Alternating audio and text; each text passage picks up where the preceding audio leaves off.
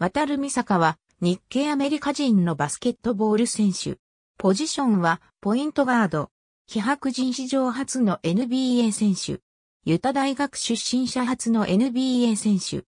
太平洋戦争前後の反日感情の激しかった時代のアメリカでバスケをし、NCAA とネットどもに優勝した唯一の日系人選手。愛称はワットミサカ。日本ではテレビ朝日、スマション2005年2月26日放送会などでワッツミサカと紹介されている。両親ともに広島県三木郡岩子島村出身。父は1902年移民、母は旧姓村上で結婚後1922年移民し、ユタ州ウィーバー郡オグデンで理髪店バーバーミサカを営んだ。隣はバーと質屋で、周りは賭博場や売春宿が立ち並んだゲットの中にあった。夫婦はオグデンで3人の息子を授かり、渡るミサカはその長男。両親の願いは他の日系人と同様に息子たちに高等教育を受けさせることだった。ミサカは日本語をほぼ話せなかった。メキシコ人と二人の白人の友人は渡るは言いにくいからとワットと呼び出した。ミサカは幼い頃兄弟と様々なスポーツを楽しんだ。足が速くスポーツ万能な少年ミサカは友人から引っ張りだこだった。タッチフットボールチームでキャプテンを務めたが、両親はミサカが怪我したことを理由にプレーすることには難色を示した。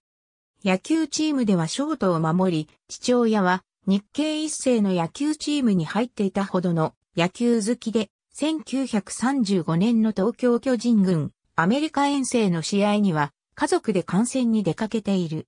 1939年、父が死去する。母は日本へ帰ることを提案したが、ミサカは残ることを主張した。それで、一家は残ると決め、母は利用士の免許を取って理髪店を継いだ。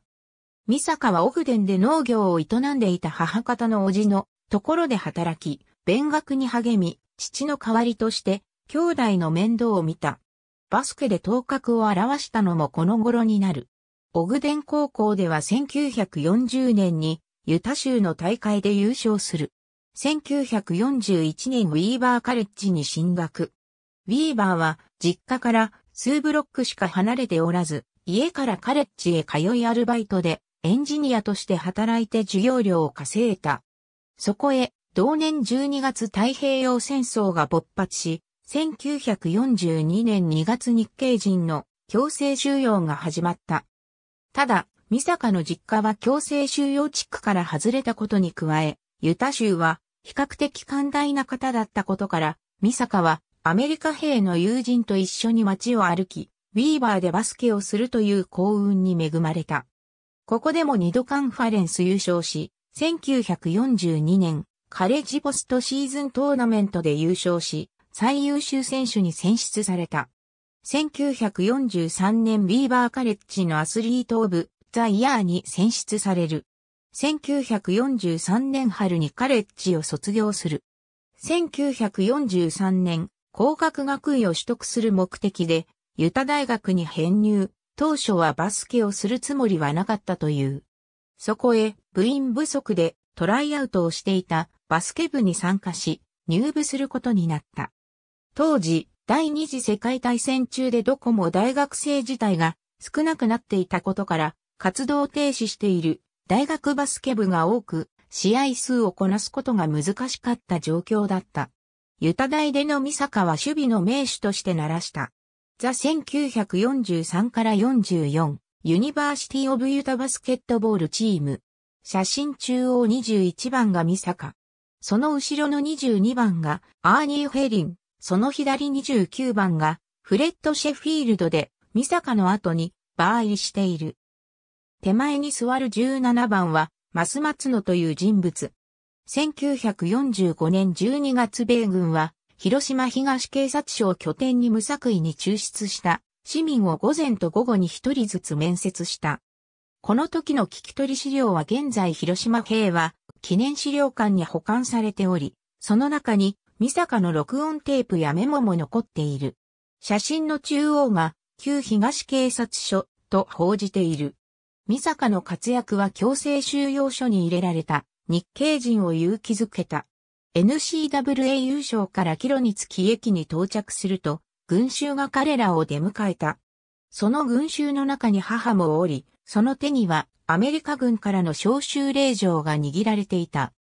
1944年6月アメリカ陸軍に入隊、訓練後アメリカ陸軍情報部日系語学兵となり、語学訓練中に1945年5月、VE デーを迎え、後フィリピンマニラの基地に配属が決定し、移動途中の公海上で1945年9月終戦を迎える。フィリピンでは、ルソン島の捕虜収容所で尋問任務に就いた。ミサカによると、捕虜の中には日系人もおり、ユタで生まれユタ大を卒業した後就職できなかったため日本へ行きそこで徴兵され旧日本兵として戦った人物もいたという。次に連合国軍占領下の日本での任務となり、1945年11月、横田基地に配属され、米国戦略爆撃調査団戦意調査部で翻訳通訳担当となった。その最初の仕事が、両親の故郷である、広島県での広島市への原子爆弾投下後の市民に対する聞き取り調査だった。広島で1週間、次に山口県萩市で1週間現地調査を行い、その後は東京で半年ほど任務に就いた。この間、広島市内に住み被爆から助かったおじ家族、両親の故郷岩子島を訪ねている。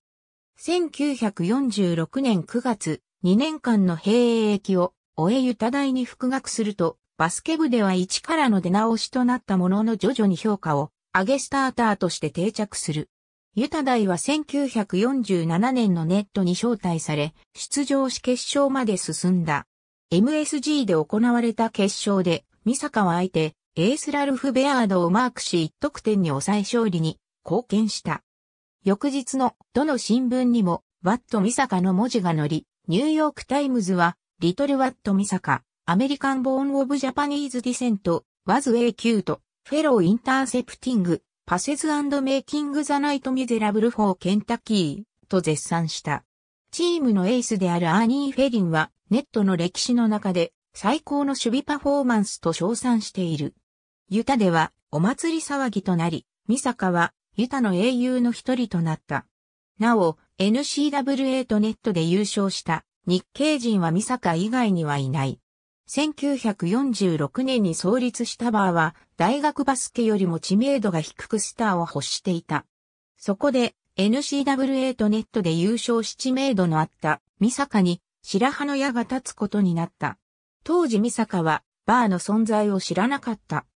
1947年7月1日、バー史上初めて行われた1947年のバードラフトカレッジドラフトでミサカは7巡目全体61位でニューヨークニッカーボッカーズに指名された。ニックスのネットアイリッシュ球団社長は契約のため、ユタ州を訪れ、州最大のホテルの一室でミサカと交渉した。ミサカはすぐに入団を決め契約、ニックスにおける1947年ドラフト組の契約第1号となった。非白人として NBA 入りした史上初の選手となり、ユタ大学出身者として初めて NBA 入りした選手となった。契約金は4000ドル。背番号は15。この時点でもアメリカと日本両国の国籍を有していた。ジョー・ラプチック監督のもと、開幕までに練習試合が組まれ、出場機会は徐々に減らされていったものの、開幕ベンチ入り12人の選手枠に残った。ミサカは監督がどういうプレーを要求しているのかわからなかったという。ミサカのポジションであるガードの選手が過多だったのも災いした。ニューヨークのメディア各紙では、ミサカの人気より得点能力の低さを問題視された。デビュー直前にはニューヨークタイムズに写真付きで紹介された。1947から1948シーズンの BAA開幕戦、ミサカはベンチに座った。 NITや NCAA 決勝で超満員の MSG を経験しているミサカには、バー開幕戦会場の MSG の客の入りは物足りなかったという。開幕戦にミサカは途中出場している。大学バスケファンに名の知られたミサカであったが、そのデビューはニューヨーク以外では話題にならなかった。第3節のプロビデンススチームローラーズ戦では5得点を挙げたが、さらに出場機会は減っていき、第5節以降は出番がなかった。チームは開幕から3連勝を飾るものの、その後3連敗を喫した。そこで、チームが選手補強するため肩だったガードから選手を削ることとなり、同年11月24日、アイリッシュ球団社長から12人の枠に抑えないといけないという理由で解雇を言い渡された。三坂は社長から自分の本意ではない。選手を選ぶ全権は監督にあるからしょうがない。とも言われたという。契約金は全額支払われ、支給された7インチのコンバースハイトップも持って帰らされた。三坂本人は納得がいかなかった。後アーニー・フェリンは当時ニックスには EPG が2人いて、もし PG が必要なチームに入っていれば、ワットの人生は変わっていただろう、とコメントしている。ニックス時代唯一仲の良かったチームメイトカール・ブラウンは身長が小さすぎたからでは、とコメントしている。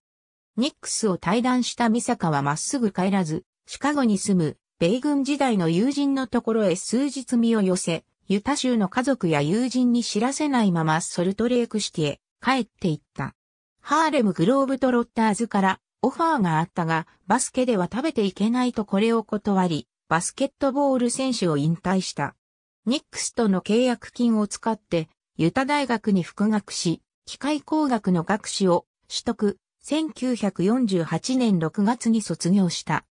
卒業後は、 EIMCO Corporation に勤務し、1957年からスペリー社でミサイル制御システム設計担当として勤務し1981年退職、その後はペントラーニックスダイナトロン、 Inc. に勤務し2014年91歳で退職した。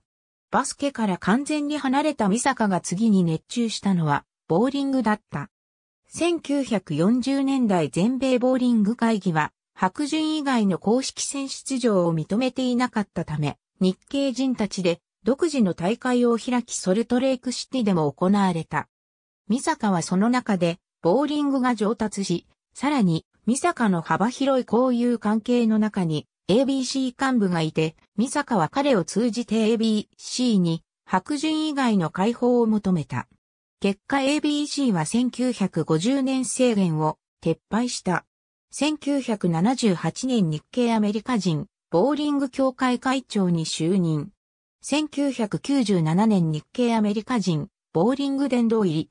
また ABC は複数の協会との組織再編により2005年、アメリカボーリング会議が発足するが、ミサカは当時ソルトレーク協会理事として、その再編に携わっている。80歳の時に299点を出したという。1999年ユタ州スポーツ殿堂に選出される。2000年全米日系人博物館で紹介され、ミサカはニックスにもらったコンバースハイトップとユタ大のジャージを寄付した。ただこの時点までミサカのバスケでの功績はほとんど知られておらず、ヨーアキラや田臥勇太などのアジア系が NBA でプレーした2000年代前半から注目を集めることになる。2002年日系アメリカ人のスポーツ殿堂入り。2008年にドキュメンタリー映画トランセンディングザワットミサカストーリーが制作された。2009年ホワイトハウスで行われた式典に招かれ、オバマ大統領から称賛され、2009年の NBA オールスターゲームに NBA レジェンドとして表彰され、同年 MSG に招かれ、ニックスから表彰された。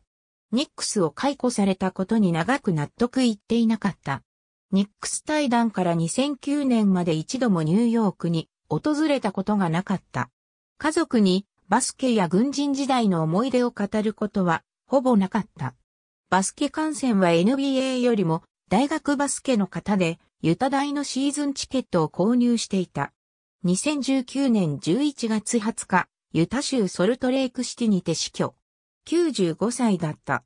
ミサカは、太平洋戦争の戦中戦後の反日感情の激しかった時代のアメリカでバスケをしており、差別を経験している。こうした状況であったが、ミサカはアメリカを信じていたという。ミサカはメディアに対して人種差別を受けていない、あるいは少なかったとコメントしている。ここでは、日本の TV メディアで特集された回を記載する。ありがとうございます。